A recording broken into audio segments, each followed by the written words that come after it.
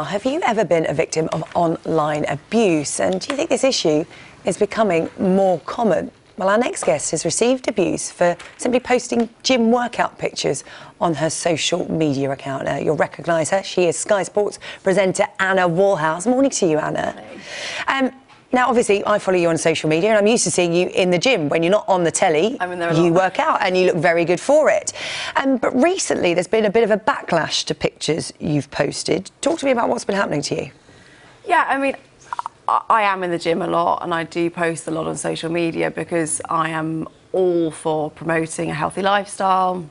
You know, I actively lift weights, and I'm all for encouraging more women to do so.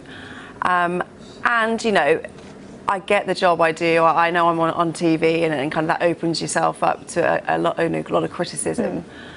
And you get the odd comment about the way you look, and you can kind of take that on the chin a little bit. Mm-hmm. But over the weekend, I received a level of abuse that is just unacceptable, really. You know, um, wishing me dead, bringing up horrible things about my family, you know, bringing up a subject that's very, very painful to me about my brother and, and his death, and just body shaming me in the most horrific way. Because you lift weights, and some of the comments you were getting were, "You're too muscly. You don't look very feminine." Yeah. Um, and another sports presenter, Kirsty Gallagher, um, posts a lot of gym pictures as well, and she's come in for this kind of abuse. It's talking about women and what it is to be feminine, and that must be really upsetting because you look fantastic. But You've got a healthy feminine? body, exactly what is feminine? You know, what, what one person might deem attractive or feminine or the perfect ideal on mm. how a woman should look it is not necessarily what another person mm. thinks. I train for me mm. and for me alone, and I also train for a lot of health reasons, like I said, and, and for my body and my mind. You know, that's massively important to me. But I certainly don't train to look like a certain way, it's just a result of the training but you know what what is it what is right for some guy to say or some some woman to say mm-hmm. doesn't matter who it is that you're too muscly or you're too fat or you're too thin mm. it's interesting isn't it because when you get negative comments on social media you're told to ignore it there's a mute button there is a block button but it reached peak for you over the weekend what can you do about it? I mean, obviously, you replied to some of these trolls and you retweeted some of their comments to say, I'm not looking for sympathy, no. but I just want to highlight what is going on here. Something needs to be done. And that is the problem. Even though you can mute or block them, there's no punishment for these people. Absolutely nothing. They, they can hide behind your keyboard. There is no profile picture. You can't trace these people. And yet, you know, they, they think it's all right to say these horrific things to your face. If someone came to you in the street and said, I wish you dead, or some, said some horrible things about you, you know, the police would probably be involved because it, it, wouldn't be allowed. So, what makes it okay to be allowed on social media? And, you know, yes, we do get comments in the public eye. You, you are kind of, I guess, some people might say fair game. Mm but to what extent you, you can brush off certain comments, but I'm only human. Do you think so. social media companies need to do more? They will argue Absolutely. there is a block button or a mute button, but you know the, the nature of it is people will set up other accounts and then carry on tweeting you.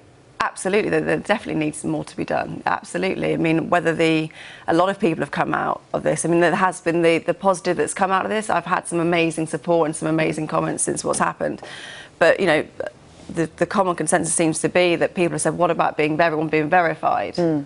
Would, would, that be a solution? Mm. So you can trace where these people come from yeah. and make them responsible users.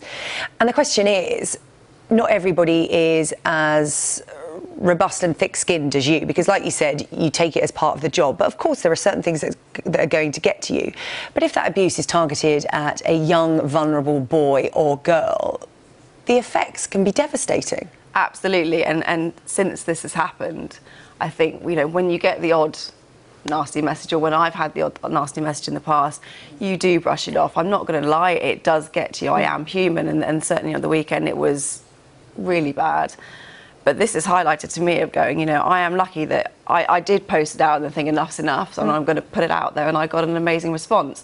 Some people don't have, you know, friends, family, or, or have, or have that platform yeah. for, to be able to do that, and and really sadly, it sometimes ends in really grave circumstances. Does it make you want to come off social media?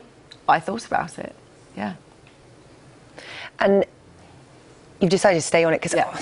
the nature of it is you know for your work. For your work, it is part and parcel of being on it. But do you think you will now change the way you post pictures? No, I, I'm not going to change the way I post pictures because, like I say, I, I do it for me. And also, if me posting a workout video makes one person get off the sofa and go to the gym or lead a healthy lifestyle, if I can be slightly motivational for them, then that's brilliant. I, I'm kind of doing what I set out to do. And also, my social media is kind of for me. I, I enjoy doing it. Um, so I did think about it, but no, I'm not going to come off and I'm not going to change. Well, I'm glad you didn't let them win. Anna, thank you so much for coming in and sharing your experiences. I'm sure it will resonate with many people at home. Um, what's your Twitter handle for people who want to get in touch with you in a positive way? that has, I've got a lot of Yeah. positive response, and that has been the good thing that's come out of it. It's at Woolly Anna. There you go. And she is staying on social media. Thank you very much, Anna. Lovely to see you as always.